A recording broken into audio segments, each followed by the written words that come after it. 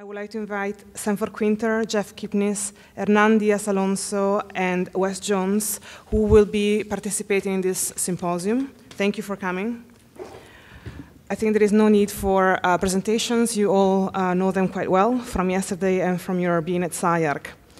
I'm going to pose them um, three questions. Um, I'm sure that we'll, uh, that maybe I will pose one question and let's see if I get to the next two questions. The topics of discussion today are mainly focused on thesis as a as an overall uh, program at SCI-Arc. Um, the graduate thesis has been reintroduced at SCI-Arc five years ago. This period represented a playground for a young graduate program to learn how to play. This occupation that one could describe as imagining a world in absence of verification has been geared towards individual creativity and imagination uh, based on no pre-existing principles, which shortly after developed ubiquitous techniques and group rituals. As a result, thesis has been able to picture architecture in far more elastic terms. Thesis appears as if it reached a rare tension between individual pleasure and group innovation. Now that SCI-Arc, as an institution, unquestionably reached a more mature stage, it's important that the thesis program demonstrates its ability to own the choice of what designers need to think about today, fostering a broader culture of ideas and increase in position taking, able to direct the goals of design. So my question to the symposium is, what do designers need to think about today, and how does thesis contribute to a broader position taking at SCI-Arc?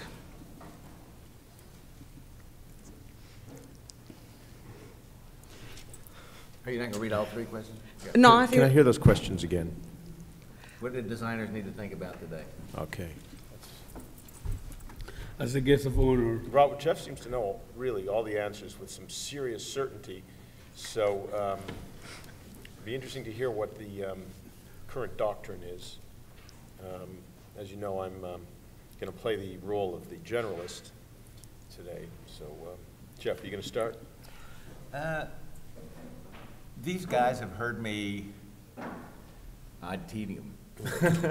But I, I am going to say something. I mean, I don't let the students talk at all when I'm listening to them. And so, forced against my will to listen this morning, I was incredibly impressed and delighted uh, with, I thought, the ardor and passion and uh, interest of the work. I, I think it speaks incredibly well, and I just want to say this publicly, to the quality of the advice they've been getting from their prep faculty. So it was quite a, for me, quite a pleasant morning. It's also a good measure of a thesis. If, for me, it's a measure of a thesis is, is I leave with completely new ideas. In other words, the, when students' work is good enough, or a students' analysis is good enough for me to give me completely new insights and stuff I've been thinking about myself for a long time, then I think we're on the right track. Now, I, I wanted to relate it to your talk last night. I mean, it's absolutely essential that we re-nourish ourselves with unexpected uh, information from outside the discipline. My balancing to that is always an idea of monadic adequacy. Uh, because I believe that part of the question of, I mean, one of the things I thought was interesting last night is you, you look at a species and you point out the fact that the species is a dynamic fluid over time. But in order to be an effective dynamic fluid over time, it actually has to behave as if it's a genus, or it has to be, behave generically. They, you know, antelopes like to have sex with antelopes. They run away from prey with other, you know, they, they behave as if they're a thing, even though over time they are not. And so to get that balance in the thesis where you have not just a single topic in which everybody is uh, uh, pursuing as if there was some kind of master discourse, but on the other hand, not so much individuality that there's a kind of irrelevant uh, atomization, much like has happened in the world of music. And so I feel like um, we're at a very good balance at that right now, and you know that you can detect the communications. Uh, I mean, for the first time ever, we, we, we're starting to see a thesis project refer to a thesis project from last year. So there, in other words, the students are not only referring to other work, but they're starting to refer to the own work of the school. And you know, so these are certain minor tactical cues that make me feel like uh, the project is maturing very rapidly, and you know that we have a sense of what a thesis is. And you know, so I, so since I feel like we're on the right track, I'm asking you if what, what adjustments we should make. And I think the question Ellen asked is particularly important, and that is, what should designers be thinking about today, knowing that the answer can't be something like sustainability or world population. It can't be one thing that turns every designer into a servant. So what I think you taught, what taught us last night is designers have to be thinking about something about how they constantly refresh themselves with new, with uh, new inspirations. But the question is, do they all need to refresh themselves from the same discourse? Let me first say, Jeff, it's going to seriously disappoint you to hear that I agree with absolutely everything you just said. I never am disappointed by that. Now, it's not what we anticipated. You and I share do. that opinion. It's not, it's not what we anticipated uh, to do today. I would like to add a couple of things to uh, Jeffrey's initial responses to finally listening to the students this morning. And that is that um, it's really unexpected that when students in this day and age present theses, that you can actually discern theses. And even though these things were never, they were not, I mean, understandably, they were not completely uh, worked out or completely, let's say, completely nailed down, there is without a doubt a clarity, a focus.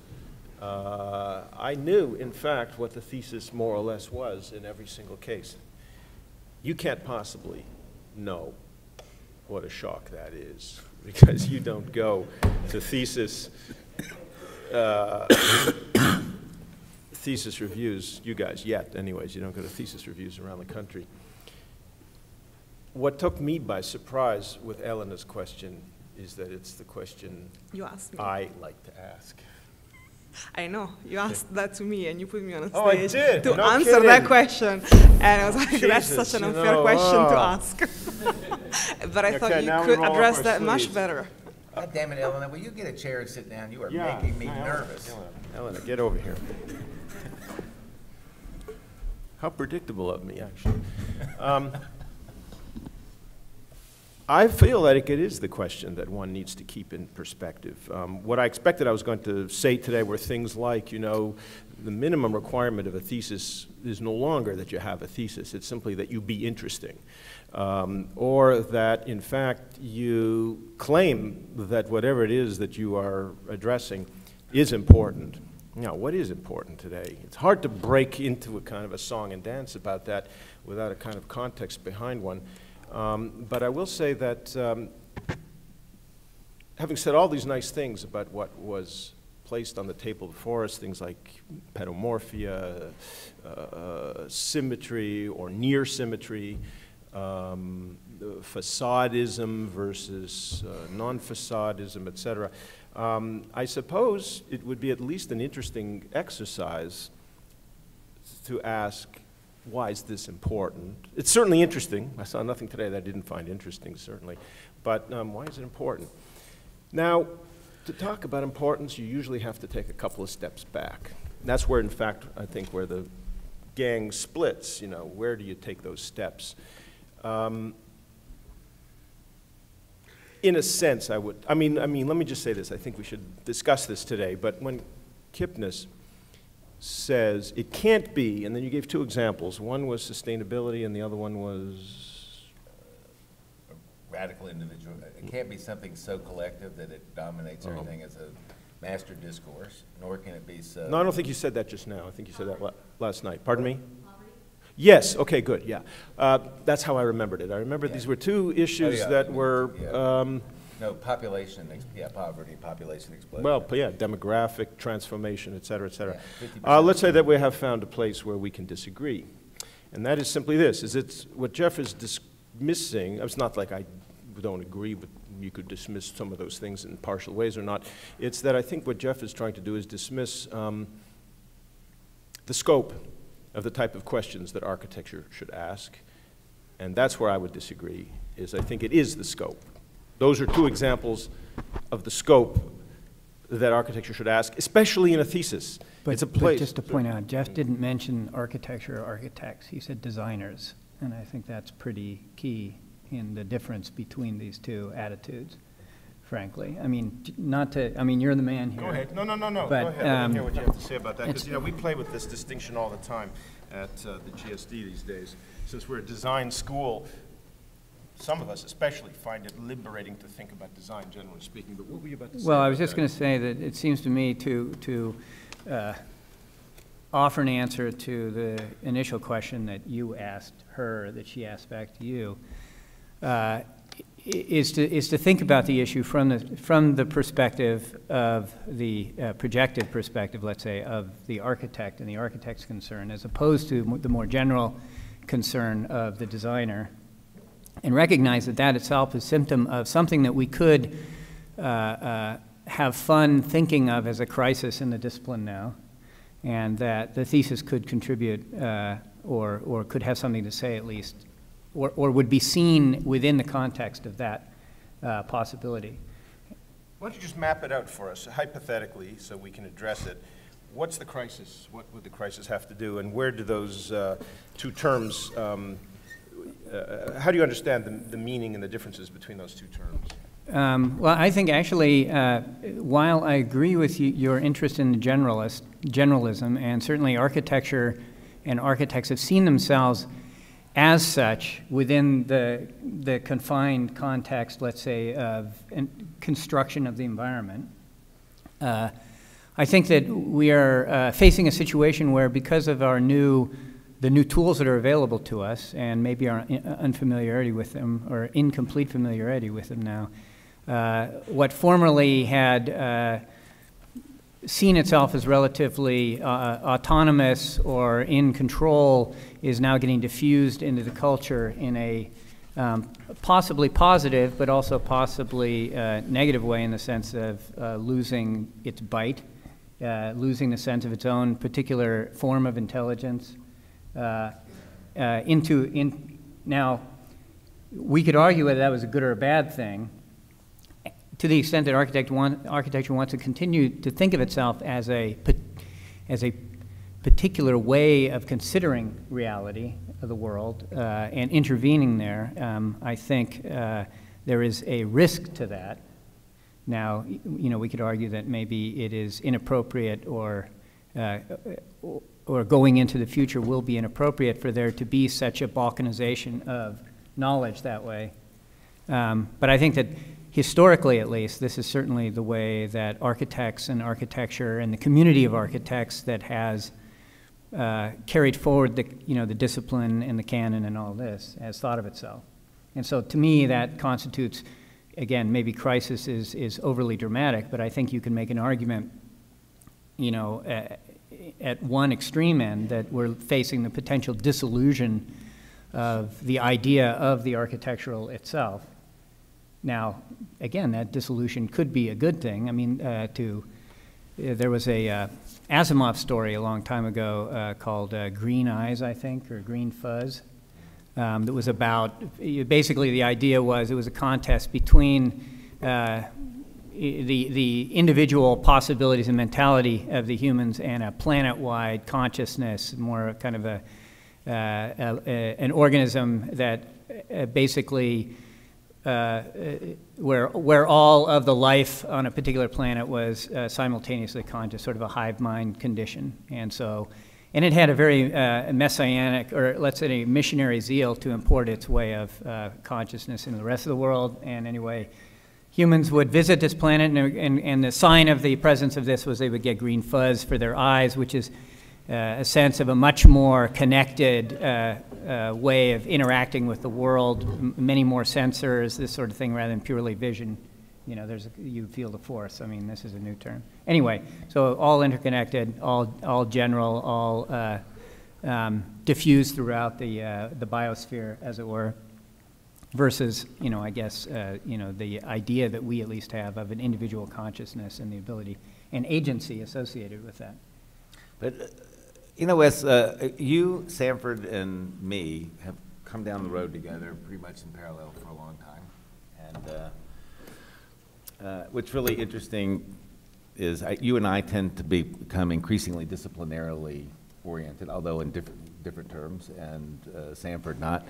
But I, I wanted to pick up the, uh, like, I think the swarm intelligence is an interesting thing to introduce. But for example, if you look at a flock, uh, if you look at a flock of birds, you know, or a school of fish, then it, it behaves as an intelligent organism as a collectivity precisely because each of the fish is not trying to behave as that organism. You know, so the intelligence comes out of the interconnectivity. It doesn't, now, if you take, for me, an ecology is replace each fish by a species and look at the behavior of that single organism at, at, at the next level of complexity. What you want to do is resist the implication, the, the temptation to, to turn that into a monoculture. You know, and what, when you speak of crisis and population problems and sustainability, there's a tremendous urge to make those monocultural, make, to make any response to that driven by monoculture. Whereas I think the ecological model says the most intelligent thing to do is to proliferate um, speciated differences and let the swarm intelligence solve the out. problem. Um, this is where I think Sanford's lecture was so good despite his misinterpretation of all the facts that he presented us. uh. we, um, we learned a lesson from what happened in the 90s. When I say what happened in the 90s, I mean what happened in design, what happened in thought, what happened in society, what happened in economics, and that was that those who allowed themselves to be duped by the idea of laissez-faireism, or rather invisible handism in the design world, was, uh, uh, was something that we could do with impunity. It is intellectually cowardly, it is intellectually lazy, but it is also catastrophic from a purely empirical point of view. So most of us basically faced, I mean, many of us, I suppose, faced this idea. So it seems to me surprising that one would think, even be able to put it on the table today as a possible, uh, as a possible um, ethical position, or that's to say, a possible uh, uh, uh you know, root of, uh, of, of, of behavior to respond to our world in that way. I think that responding to the world and responding to our historical period is something we basically need to do. Now, the thing about that, of course, is that we are weary of some of the cliched and routine ways in which that has been done in our field, in other fields, et cetera, et cetera. I still think, however, it is the great you know, it's, it's, it's, it's, a, it's, a, it's the thing we must do. And it is for us, because there are some particularities about architecture. And I, I really would like to rethink some, or rather discuss some of the ideas that uh, Wes just proposed, because they really, in, I, I agree with him in a way, though he presents them very calmly and very, I agree that these are the problems right now in the design world. These are the conundrums. I don't have the answers for them.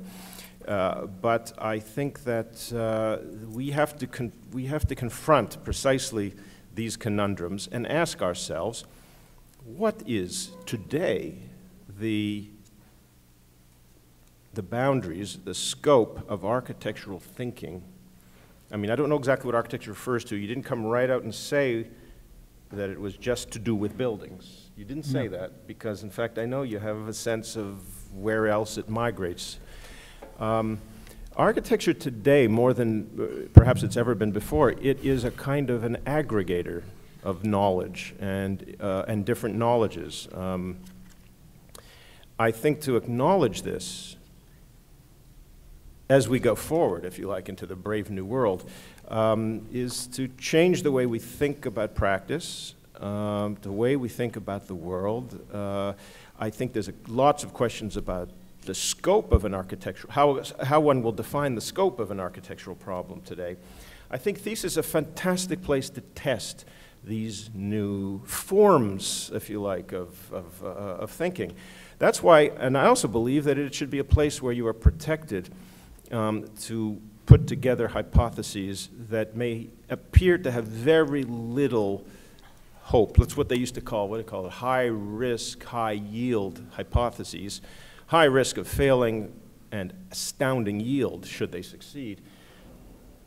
thesis should be hypothetical, it should be imaginative, it should be bold, it should be rigorous, and it should ask fundamental questions because you don't, oh, I mean, I don't know, I would almost like to say this to Wes, put him right on the spot now, and to say, the courage, to the degree that you had great courage when you did your thesis, does that not still play out today in the way you formulate questions, even at a symposium like this?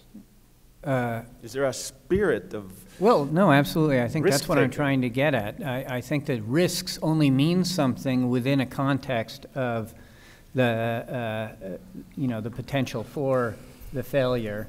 Uh, That potential is defined by, you know, what Jeff is, is, is pointing toward, the possibility of a monoculture, et cetera, et cetera. But I didn't understand that, but. I'm thinking more in, in, in, in light, in, in the sense of that old saw, uh, uh, think globally, act uh, locally, uh, that the thesis as an exercise uh, wants to have one hand, so to speak, in, in the larger questions like sus- sustainability, let's say, or, or poverty, whatever. Um, and that the consciousness of, of the individual thesis position in relation to that um, and potential rejection of that, let's say, which may constitute courage, you know, in the way you're saying it, actually makes it, it seems to me, more interesting, raises the stakes, invests it with more uh, potential um, uh, risk uh, as it surfs this line between, you know, individuality and, and the monoculture, phenotype and genotype, you know, from last night, uh, and, and that sort of thing. And so I, I don't think that the, the thesis is at all diminished or, I mean, I trust in the natural and the natural diversity of the student population to uh, av- avoid uh, uh, a kind of homogeneous, even if we were, say, to declare a theme, it seems to me that that would be, uh, immediately the student's first uh, reaction would be to contest that, uh, I would like to believe, and to try to distinguish themselves within that larger theme. And I'm not advocating uh, that, but I'm just saying it seems to me uh, not enough of a concern to base a program on. Uh, uh, and, and that in fact, what I, what I would be more concerned about would be the sense that everybody's kind of off doing their own thing without any kind of uh, reconnection to the mothership, such as it is, because it's only by that reconnection that whatever their own thing is gets to actually start to inseminate the mothership with, with other possibilities. Well, a couple of um, sort of random thought in relation to what you guys are mentioning is, and we were discussing earlier this morning, I am, for a couple of years, part of the problem that we were trying to pose in relation to thesis was to try to define a sense of relevance, which um, my limited English always, in, in my mind, I always think that relevance and importance are sort of different.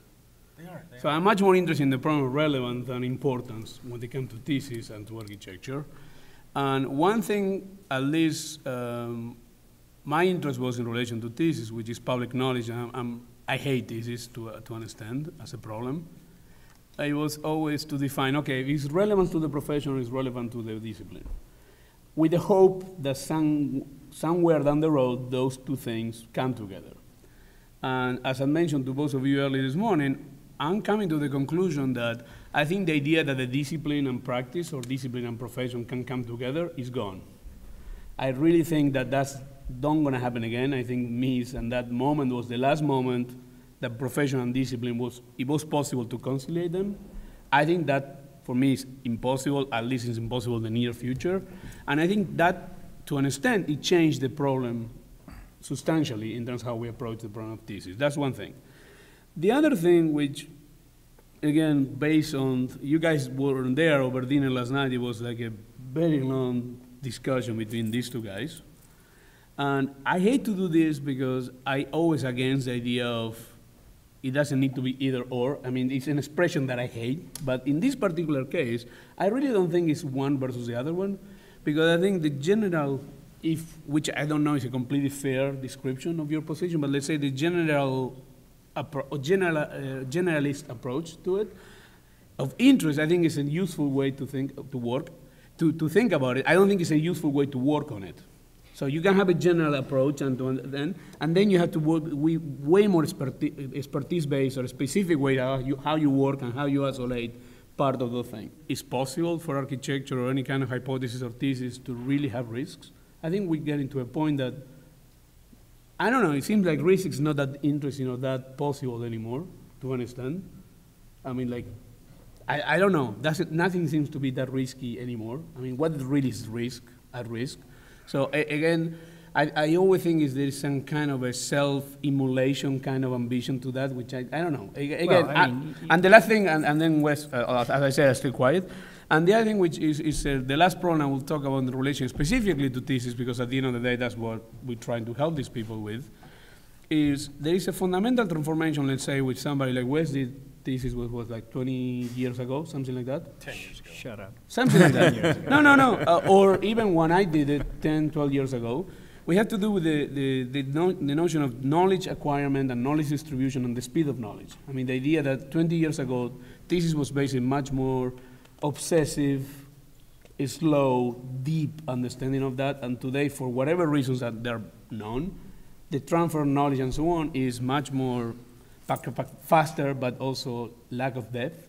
And I think that already is changing the way that we have to approach that problem. So anyway, none of these things are really conclusions. They're more like random thoughts and open questions in relation to these problems. But I think for me, the importance and relevance is, is one of the critical ones to distinguish. Uh, That makes any sense? It does indeed. Um, relevance, well, I mean, maybe we'll, I'll, I'll get to that second. Uh, what occurred to me more uh, pressingly in the last part of your uh, reflections was the opportunity that thesis offers for slowness, uh, especially and most saliently in an environment in which things, if you like, they are. They simply are. They're, uh, they're piecemeal, they're intermittent, they are nested. I mean, we live in an environment where uh, attention itself and the, the modalities of attention, uh, the relationship of work, focus, uh, uh, concentration uh, is something that has been largely removed, or at least hugely broken up and atomized, largely removed from the scene, if you like. Intellectual life, and I include in that design meditation and design practice, has undergone extraordinary transformations. Like you say, we don't have to talk necessarily now about those reasons. Um, the type of discipline that I am, I mean, I thought I had one idea simply is to say that this is a special opportunity thesis and uh, that they, it must be disciplined. Uh, Jeff last night came up with a very provocative idea um, at dinner one which indeed I had to think about all night um, uh, because I wasn't totally sure that it belonged to the category of the 99% of things that I disagree with Jeff about. And it turns out it didn't. And he said, geno well, he said very simply, uh, genotype doesn't matter. That's to say, the genetic information that is one way or another uh, uh, determinant of, uh, of a form. What really matters only is the form. Let us recast, if you like, our way of acting in the world as simply being a deployment of forms and understanding the differences between forms and having some kind of, in a way, faith that forms can affect forms and they can do it in a, in a useful way. Um, I think the shooting from the hip um, uh, ethos that that seems to encourage is not really uh, appropriate uh, for thesis. To get back to slowness, it is a moment where there is, one is protected in some ways from the, the temporality of the way, if you like, in which our environment actually forces us to use our nervous system, to go back generally in some ways to, to some of the ideas I was talking about last night.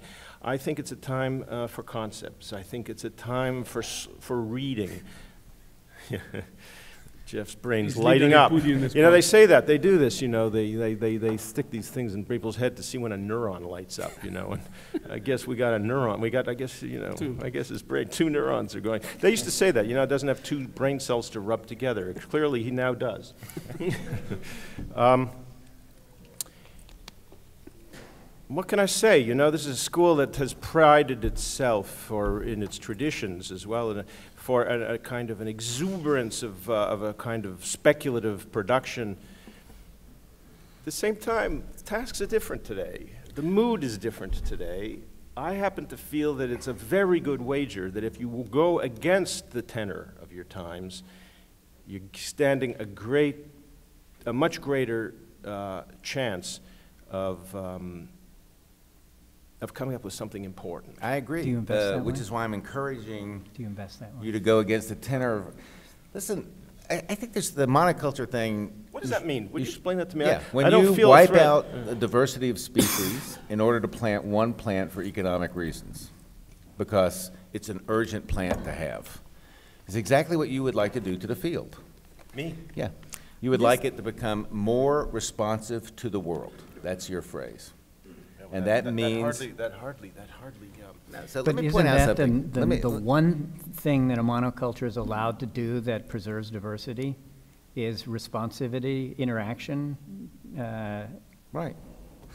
So, I mean, and I think that it, the, the interesting question about the, the history of this school is quite interesting as an ecology. There was a period of time when adequacy of the self, not monadic adequacy, but self-adequacy, was the driving, you know, whatever you thought to do was good enough r- rationale. Then when Neil and uh, Michael took over, they actually tried to make this a school responding to the world, uh, more monoculture-like. It was, I think, an incredibly interesting experiment and an important failure. And failure, in other words, with results we need to pay attention to. So instead of going back to the first version, uh, we, we now take up the possibility of an ecology of possibilities, an ecology of groups that form, instead of giving them topics, that the topics evolve from them, but make sure that they understand that they are not individuals in the, in the, in the original sense, but they are part of emergent collectivities that are going to be fluid, that they find their communications that way, and that they trust that that's an, that's, they trust in that adequacy. Now, I want, Wes asked it a really important question, and I think we need to pay attention to it. Uh, you know, he asked about what is this, what is the status of architecture and its canon, you know? Now, I will point out this to uh, Sanford that if science, which he likes so much, took his message, every scientist, whether you were a cosmologist or a biologist or a particle physicist, would redirect their attention to the conditions of the world and respond to it. But instead, it produces extremely effective solutions by staying in its speciated differences. But on the other hand, it's atomized. There's no such thing as a scientist anymore. A cosmologist will not have a conversation with an astronomer because they speak such different languages they don't even recognize each other as scientists anymore. Uh, so the degree of, now what's, in architecture I think is important to notice is for economic reasons and simple properties of matter, But see, can I it was just- so immobile, let me give you, it was such an immobile discipline for so long that it was not able to actually turn into a fully developed uh, ecology. Now, I, you know, I think it's important that we've noticed it. So it doesn't make any sense anymore to talk about architecture. But I, I think there's a, there is an essential difference between science and architecture in this analogy, and that is that science does uh, have an overarching criterion for truth i- in, in, in- Yes. And so that, that alone can link everybody and free them up to go Yeah. off into their own And uh, so- but corners. architecture does too. It's And, just- and, and at the end of the day, there, there's also the possibility that finally all science ends up as physics uh, when No. we understand it well enough, or biology, you know, depending on what. No, because I mean, if you're, if you're, uh, if Whereas you're- in if you're architecture, sitting we in this audience last night, and you are a um, atomic physicist, then everything he talked about was a was, would have been a poor represent literary representation of what was real science. If you were a But they would have had the ability to, to, to, to talk about that in relation to a common reference and whether that. that's why I think the science model is being is applied correctly. wrong to what we do. I mean, First we, of all, let me say one thing. We should get it off the table because uh, I, I just want to say this in case it is not clear. At no time would I advocate the scientization of architecture. I want to make that absolutely clear. One of my biggest uh, uh, uh, wake-ups, in fact, in this in the last couple of years was realizing even in the areas well, let me just say that I do not advocate that at all. I simply feel that um, in the void left by, in the void that the lack of production, philosophical production in our, um, um, in our culture, that science has been incredibly productive of concepts and models um, and certain forms of clarity. It's been enormously creative. And it's that creativity that I simply feel is interesting to follow. Now, that's me personally. I'm interested in anyone's uh, uh, world, you know, anybody who's following anything, whether it's, you know. I, I think it's very interesting this uh, conversation, especially about the idea of models, because I think that we as architects maybe don't know enough about science sometimes to understand that these are simply models of logical organization of knowledge. Coming from a, a different discipline, being being trained not as an architect, I can tell you that all these are different models of science, mathematics, and it's very clear that it's actually logical translation, and we admire, I think, the collective effort through the centuries to actually create those models. I don't necessarily think that's the truth in general, and such a thing would ever exist.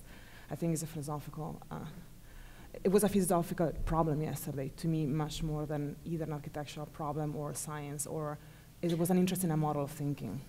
But But I wanted just to move to the next question, which might be um, important, because I think we, we already skipped to the second one, which was the difference between individual and alliance thesis, meaning we have these two different models in thesis right now, which has a singular thesis of a person that thinks of an individual problem, and people that actually are advancing something larger, you know, and the understanding that something larger is, can be shared. And I think we kind of describe this as an ecology and something fluid, that that is fluid enough. What does that mean, the second one? She skipped it. Meaning, Don't worry No, about it. She was we- like you skipping teeth. I'm, I'm skipping Oh, group teeth. thesis, yeah. because I think Forty-minute skip of teeth. I'm skipping teeth because it seems like you cover teeth, meaning like you cover what a group is and what an individual thesis is, is Don't worry meaning. about it. But my, my other question, if, if we understand that there is an Well, ecology Let me of just get this thesis. right. You're, you're guys saying that you're experimenting with, uh, with group theses? No, No. No, we think there are families of theses. I see. we are, yeah, we are s- pr- going, we're beginning to think about experimenting I have a- with an interesting swarm. theory about the space for you about that. with Swarm swarms. thesis. Like Swarms. students that sit next to each other, their work tend to look more alike than the students that they, I mean, it's good. play. Yeah. That's, no. that's that's exactly right. By the way, if you grow up next to somebody, your accent is gonna sound more like theirs. I don't know about that. Well, I do. I listen to you. I listen to Florencia. I notice. No, I'm not puzzled at all. I did notice, look, you know, this happened, I mean, you know, I'm not a Californian. I came here. One thing that did I find fascinating, uh, what I did find fascinating today is in the examples that were presented, so many of them were local. Okay, at one level, like, what's the surprise? At another level, it's like, whoa, like, this is, this is so local, was my thought. Go ahead. In what way? Is, Yeah. Well, how then, if we understand that there is an ecology of thesis, how can disciplinary tools, or how can we establish a way for which, in which they can describe and understand each thesis as being advancement of that discourse? Meaning, if we establish a culture of ecological thesis and groups of people that are doing and advancing something in this discipline, what are the tools for them to advance altogether, other than still keeping individual thoughts? Is it more of a Okay, look, you know, um, let me just say one thing on this subject is that it would be a tremendous loss of richness if thesis at SCI-Arc ceased to be thesis at SCI-Arc. You know, you get an invitation to go see thesis at SCI-Arc, and you're going with a certain expectation, which is not the expectation you have when you go and do thesis at Yale or thesis at Princeton, because it's thesis at SCI-Arc. Now, whatever constitutes the unity I think we're gonna be all right on that subject. I'm not worried about that. No, no, I know that, I know that. At No, all. I want to say that, you know, I don't know what the monoculture concept is. I've never feared the monoculture, but maybe it's because I'm so much, uh, uh, maybe it's true. Maybe I, I'm- maybe I'm so unaware of the fact that I'm promoting it. I had, uh, never occurred to me for a second. Um, That wouldn't happen, but I would like to say that, you know, you don't need to actively discourage the kind of, just to use the metaphors we're playing with today, I don't demand that anyone do this, but the speciation, the fact that here there is a kind of a collective culture. You would not want to squash all of the all of the benefits, all of the virtues of, I wouldn't say regional, but it's a kind of, uh, it's a kind of specificity that has to do with the collectivity of the condition uh, inside of which we are. Somebody's phone is firing away as we speak here. Um, that's important. That is simply, that is important. At the same time, there are indeed questions today that, uh, that belong to all of us. And, you know, I saw nothing objectionable in the presentations of theses, but we're discussing thesis in, a, in the generic sense as well as specifically thesis here. I just think that really thesis is a special opportunity that doesn't come again. And one should think to oneself, what is it that the protected nature of thesis can allow one to do that is not part of the routine uh, um, God, I slept so little last night. I can't. That is part of the routine um, How about the routine? the stuff. No, yeah, I the did- routine. This idea good. that Sanford's at a loss for words is such an incredible No, I moment. tell you, it's terrible. The I just wanna stress and record thing. it. Um, It's being recorded. no, what I want to say very simply that what is it? Just that it allows us to make an effort to bring onto the table something which is not part of the routine uh, repertory, let's say, of what uh, would normally be there. I would say that a certain kind of reading, a certain speed of work, um, maybe bringing some things back onto the table that have been off of it for 10, 20, 30, or 40 years to see what they might do. One of which, and I just want to make sure I say this before I leave, is there, I do go into the question of what is important. I think that one way or the other, one should, some of us anyway, some of you, should be uh, thinking about the way in which the traditional architectural problem today is increasingly becoming a problem of experience.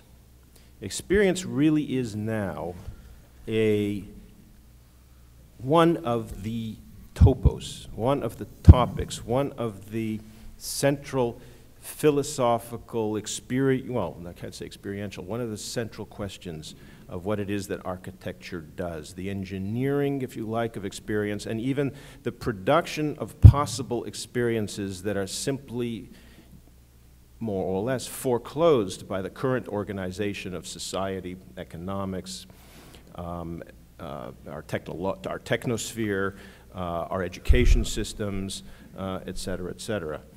Um, I always believe that thinking against the cliches, let's say, or the routines of one's time is, is a fruitful thing to do. It, it never fails to surprise. But I, I don't think there is, honestly, I don't think there's much of a risk in there. In, because I was thinking when you were giving the lecture last night, the, the first thing I thought in my head was that to me, this, one of the major strengths of architecture as a discipline is, is also that it's a very weak discipline as proprietary of intellectual content. And we're always looking into something else to give us some kind of an armature to relate with it. Sociology in the 60s, art, philosophy, science. Uh, And I was thinking, would you imagine in a biology school an architect can go and give them a lecture about thousand years of evolution of architecture without any effort to relate it specifically to biology. Like what you did last night, it was really basically that. I mean, it's unthinkable, and our discipline operates in that level. So I think that always, for me, that always going to be present. I don't think there is way that we ever are going to avoid that. The, the desire to go against the cliche, I think is the cliche of our discipline. I mean, I think it works within that territory, that desire to never be at ease with what it is. So to be that, I would say, I don't think that that is a major issue or, or, or a, from part of the problem. Now, in relation to the, the specifically the question that Elena is talking, um, there is also, for me, there is a cultural transformation in terms of between the individual and the collective that is very evident, and I think probably music is the one that is more, more obvious. If anybody who follows mainstream hip hop music and so on, is becoming a field where the music producer is more important than the artist. And actually, if you buy any hip hop record, there's 12 songs, 11 are collaboration between multiple artists. The, the, the, idea of the single artist and so on, again, that's not that new, and I mean, from Archigram to, I mean, it happens many times in history, but I think it's changing the culture. And I mean, I'm 42, so I'm still considered a young guy. And when we look behind us, let's say the early 30 guys and so on, they're all going into more like a consulting, collaborative producer model. And I think that, for me, is a radical transformation slowly that is happening in the field. That I don't think thesis still has becoming very accountable for but that. See, to me, that's, that is maybe a symptom of this crisis that I'm, as an old guy, uh, noticing. Um, uh, maybe but a, why a way call, that. But the question is, why you call that a crisis? Uh, I mean, I, I don't know yet if that is a crisis or well, it's just. yeah, no, and certainly I think it's worth debating whether it is something to be looked forward to or dreaded. Yeah. Um, let me just put it in, in a different context. It seems to me that a lot of what we valorize today in architecture, and I don't think that these theses were particular examples of that, are issues of uh, technique and stuff that uh, in, in, in 20 years or 30 years we will recognize as merely vocational concerns. Uh, if we are heading toward a convergence of uh, applications and platforms and software and everything, and an increasing transparency of them, uh, uh, of them to our intentions, then it seems to me we're going to find ourselves um, potentially 30 years from now when your mom can design a house with gestures and, and natural language uh, and because of the expert But systems and everything I don't else know, Wes, because you can buy a, guita- a guitar and a wah-wah pedal, and you're not going to be Jimi Hendrix. No, no, well, that's my point. It's precisely that is when all of the skills that we associate with architecture now, which are, again, various digital platforms and such, have become commonplace, and when the structural gymnastics that we are so impressed by become trivial through, uh, you know, nanotechnology, let's say, uh, what could be left is the residue of the architectural, the sense of judgment that tells us a good one from a bad one, and that's what I feel could potentially be lost if the discipline, which is again a, has has connotations that are certainly negative these days, haven't always been that way, gets diffused into the culture generally, and we we lose that that particular form way of looking at things that we call the architectural now. Now, again, we could argue about whether that's no, I completely good or with that. bad or uh, whatever. I'm, No, no, I agree with me you on that. selfishly, I think it's not good because I've with you on invested my life in assuming that there was importance in that and value there. But uh, No, but Wes, it's not important. It's the fact that you can do tricks that no one who doesn't know that stuff can't do. Like, if I ask you the effect of a staircase going down or going up, if I want to make something more important, you know, you know, it's not that the stuff is important, it's that you know it, like a magician, and you can do virtuosic tricks with it that virtually no one else that has bought the instrument, the guitar and stuff, can do. So your mom will be able to design a staircase and all that sort of stuff. I mean, do, design houses, and she'll get the kitchen closer and closer to the garage. She'll never understand how powerful an idea it is to have this kitchen sink facing away from the window in the meat. that's exactly what I'm talking about, though. But you're, in other words, magicians are, everyone can do magic. There's amateur magic to professional magic.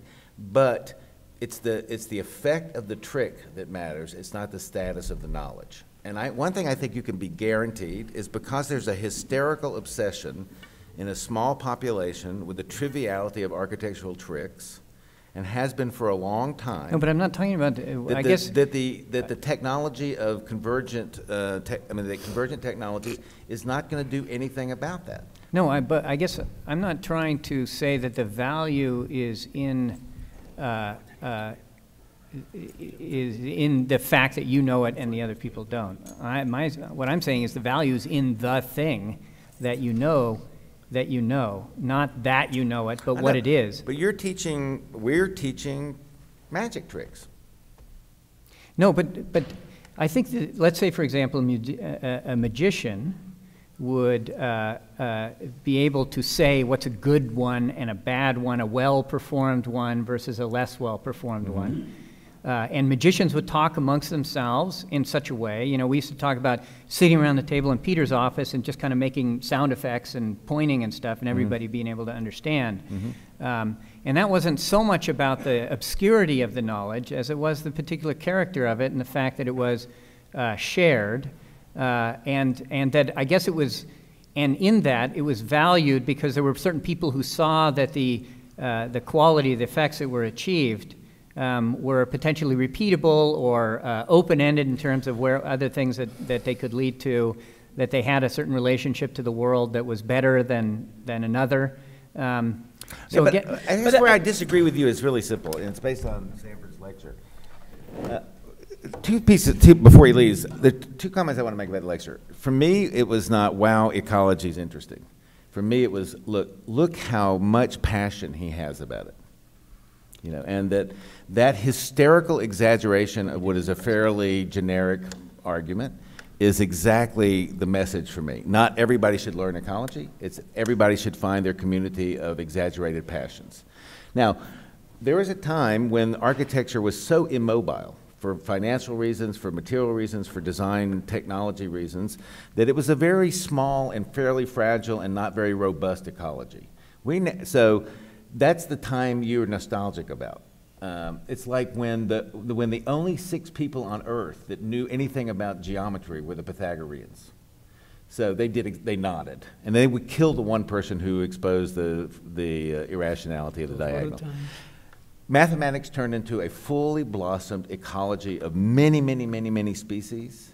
It didn't go away, and architecture is undergoing the process But of see, that there's a, there's a essential difference there between the quantifiable examples that you're operating with and the, you know, for lack of a better word, poetic, and I, I don't really want to be saying that, but the, literally these ineffable dimensions that architecture, this thread that is carried along, uh, that allows us, however anachronistically, to talk about a Greek Yeah, temple. But I uh, think Wes, I don't think they're gonna go away. I think you just need to add variables. Well, that's like the- any other that's field. the like, question. Like I mean, if, if you think uh, again, I always use music because it's the most useful example for me. If you look at the '60s, there were like 20, 30 relevant guys in the popular music field. That there were already 20 times more than let's say Mozart times. And right now they are in the thousands, and But there there still are is great music and bad music, and then you just need to have a Well, much but more I- no. sophisticated palette. But I have to tell you, I think sir. music is a perfect example of when a discipline is so successful that it becomes completely irrelevant. So what's happened in the complete efflorescence of music into a, a robust, it's no longer an ecology, it's a jungle. It's like the, it's like the, like the Amazon. It has so many species that are sp- so specific that it is incredibly democratic, or even more than democratic, but it has absolutely no cultural relevance anymore. People don't find music politically significant to discuss. I agree with that. I just want to say one thing before I leave, because it's a bit of an, I would love to address the comments you just, you made earlier, but I would like to say, uh, a view from the East Coast, I believe, it's still a fairly East Coast idea. I did want to place it on the table for those who are interested, who are doing thesis now, but also for doing thesis in the future. Uh, One of the things that it looks like uh, truly a strong trend is interest in, uh, in something called spatial practice. Uh, Now, that is, of course, a considerable, that represents a considerable generalization of a lot of the processes that used to be collected under the term architecture. But I don't think you would reject most of these things, these areas of spatial practice. But they often is a put. fairly n- uh, recent addition to the. uh, Well, that's it. Well, I was going to say this, if I had more time, I was going to say, last night, some of you may remember, Jeff was uh, extremely shocked that I used the word space um, last night um, in my, in my talk. Um, And uh, there's all kinds of reasons one could discuss for why that was done. It was certainly done with deliberateness. Um, I do want to add that uh, spatial practices uh, is often uh, prefaced with the term experimental, very often called experimental spatial practices. Now, that has uh, offered uh, a great, um, it has allowed a lot of the passions, a lot of the interests, and especially a lot of the idiosyncrasies that are swirling around today, especially in the culture and the cultural acquisition, the cultural environment you know, of the young. It is allowing uh, for the expression of some great idiosyncratic positions. When you use that term in relation to me of a, what was it, a hysterical uh, or, or, or was- He was using it in hypertrophic to position. No, no, I think all of us, but no, but also, but I mean, yes, I know, but what Jeff, the- in the context of uh, uh, Kipnis's ideas, his argument is that culture is essentially driven by these hypertrophic, uh, um, Hysterical exaggerations. well, you call them hysterical exaggerations. Really, what they are is what I referred to yesterday as umwelt. Umwelt. They, well, you call, they are. They're passional. They're, as Deleuze and Guattari would say, they are passional. But what they do is they constitute a unique world. Um, and they are what situates an organism actually in the world, is the specific world that the organism in certain ways projects and anchors. That is what makes things interesting. That's what life essentially is all about, and that is what drives history. I absolutely agree. So when we understand that, we have to understand that experimental spatial practices is the way, if you like, in which, you know, in which, I mean, if I can say it this way, you guys all understand what I'm saying. It's the psyarchization, essentially, of the entire field. It is, I mean, you know, there was a time when experimental work at the AA in England, you know, in a couple of places in California was actually happening. Um, but spatial practices, it also involves, you figure it out for yourself, it also involves uh, letting go of some of the pieties of what So close to Special constitutes. Olympics. Spatial Olympics? It's so close to Special? Olympic What is- expression. Oh, special. you guys understood. I mean, this is spatial. Yeah, no, I know. In my head, it's, That's your it accent like, there. It's very spatial. Yeah, actually, that's what architecture is, is spatial Something that always did fascinate me was how many architects, even uh, ones who grew up in an Anglo-Saxon country and culture, still put the word "sea" in the word spatial. I noticed that today, even a lot of the slides, not just for that word, but where places where a T ought to appear, the C goes in. That's uh, that you could say is a is an architect's Failure to use a spell. no, it's their yeah, it's a special it's the mutant gene that become that brings you to a school like this. Just to wrap up the conversation today, I would like to ask one, one bit from everybody. So clearly we had a preoccupation with applying computational tools to architecture for the past 15 years. This has been consuming and implementing and enriching our practice in many different ways. There are downsides and upsides in what happened, some intellectual naivete, but also we expand our discipline. We had a collective thesis. Is it still time for a collective thesis? And if this is the case, how is it possible for disciplinary tools to become generators of ideas? What's a collective thesis? I think what we have But done. not group thesis. Yeah. Oh, I see. Are you, well, are you talking about uh, specifically a, a, a group, or are you talking about a whole class working on the same idea like sustainability? No, I'm talking about the fact that we are discussing the fact that tools have been uh, quite Broad dominant, uh, and they've been partially a preoccupation. And if that is finished, or if that is specialized enough, Well, it's just become normalized. or is normalized. Um, well, let's see if it's normalized uh, or if it just evolves. Basically, is it possible for disciplinary tools like what we use to design, the magic tricks, to actually formulate or generate ideas? Basically, is this tricks and ideas are linked to each other, and if yes, how?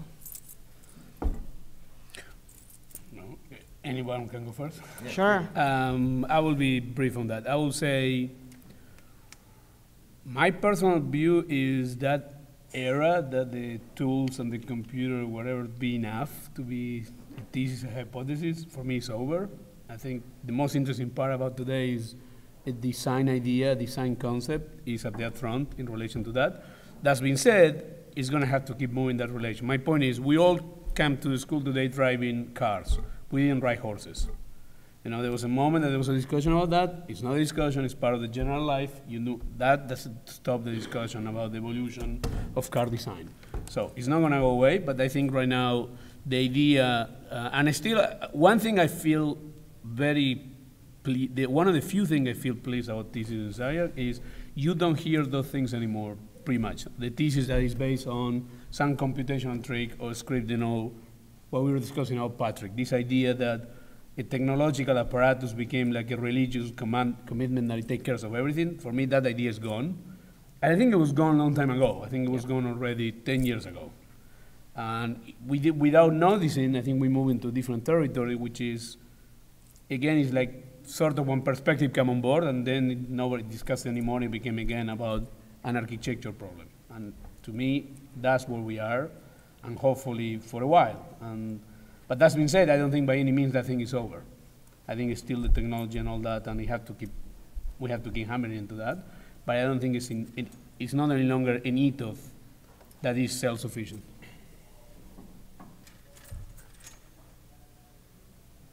Don't look at me. Uh, Would you repeat the question very short? Just, no, just to get, I'm with you. What would be the role of collectivity in thesis today?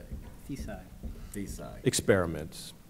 Absolutely. Well, would, Yeah. would it be to uh, uh, uh, promote this speciation? You know, uh, a, a group who's interested in a particular problem and feed off each other and advance I definitely, I like, the- On a broader I like the model of the Bohemian Demo. I like the club in, in New York. I don't like, I don't like Braque and Picasso. In other words, I, I think when one idea starts to drive those, Braque and Picasso, I mean, it was only two of them, so it's not so bad. But when you get together and you drink in the club and you're fighting about stuff like. Juan Gris. Yeah, Juan Gris, okay. Um, You know, so I think it's a really important idea, and that the ecological model gives us a way to, like, if every cell in your body tried to make you as healthy as possible, you would die. It's called the bureaucratic necessity, meaning a collectivity produces more intelligence when its sub-elements are, are mediocre than when they are all at their, so I think there's something really important about thinking about the question, uh, and that is, how do you allow conversations of passions to emerge without subordinating everybody into a collectivity? There are two things that I think are the most horrible experiences of life, being alone and being utterly annihilated by a collectivity. Those are the two horrors. And so I think uh, you have to find a way to mobilize organic groups, allow them to emerge and dissolve, depending on their economics and the flow systems. And then they behave. You know, so I don't want to see, I don't really like what happened at the World Trade Center with the top architects, top friends of mine, found exactly like Ellen described yesterday, the least common denominator solution. Because they didn't know No, how no, to work together. Because you cannot make yourself work together in that way. You can each do a World Trade Center project and meet every night, talk about it and, and drink about it, and then over time, that will produce a collectivity. Um, First of all, uh, lots of interesting things to say there, not enough time to address it all, but I think another thing that should be put on the table, we don't need to fully control these processes and relationships. One of the great changes that has taken place in our recent life, in the lifetime of everyone in this room, is the degree to which knowledge has actually become, and the circulate has become social. Uh, even the disappearance of the manual associated with a computer, because in fact you learn how to use the computer because you learn it from friends. You learn all the techniques, you learn it from various networked sort of interrelationships. Um, Architecture is the same way, way. it's profoundly so, profoundly so. Uh, the social, by the way, I do not think, I, I was not advocating the ecological approach to absolutely everything, absolutely not. I was simply talking about one area of, of, of interest uh, uh, to our field. But I do think that the social, that, that ultimately that's what ecology really meant for me, was a social system. Um, we need to acknowledge that in our, uh, in our academies. We need to acknowledge the fact that knowledge is not circulating. We need to acknowledge, yes, that knowledge is not circulating, it is not being produced, and it is not being uh, concretized at all in the same ways anymore. Um, and in that sense, we need to listen. You need to listen, actually, more and more. You listened today for the first time. Where are we now? Near the end of semester? Um, it's. Uh, I listened today because I was forced to against my will. I listened to you listening to me, I always. and I listen learned. I learned. You gotta Because I get it. can't listen to myself. One, one thing before we're done, I want to thank Elena for putting this together. Uh, already, I mean, she I've offered to leave my wife and hit, marry her, I mean, but she just she took it. over thesis this semester and she's already doing a phenomenal job. So I just want to thank her for all the work that she's doing. Thank you.